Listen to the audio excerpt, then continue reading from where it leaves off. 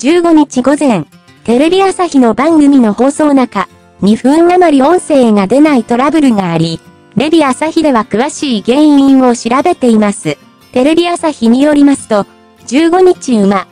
10時25分から放送された情報番組、井戸、スクランブルの冒頭、2分余り、渡って音声が出ない状態が続いたということです。